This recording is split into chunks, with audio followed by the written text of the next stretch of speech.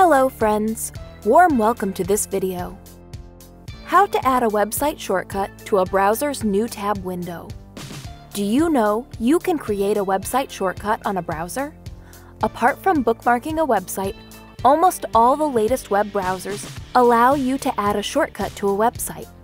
This shortcut will help you to open a website very quickly. Let's see the steps to add a website shortcut to a browser's new tab window. Open Google Chrome. Open a website in the browser that you want to add as a shortcut.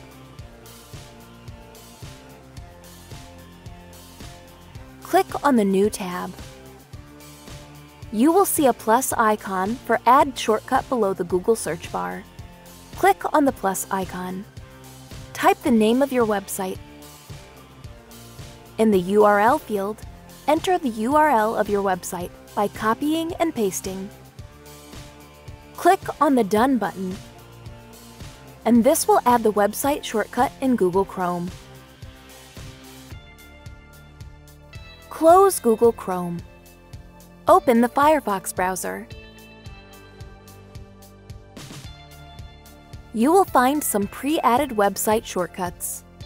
Hover over the mouse on a shortcut and click on the three horizontal dots of the More menu. Click on the Edit option.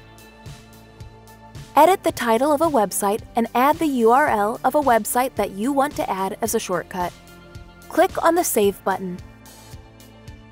This will add a website shortcut to your Firefox browser. Similarly, you can add a website shortcut on other browsers.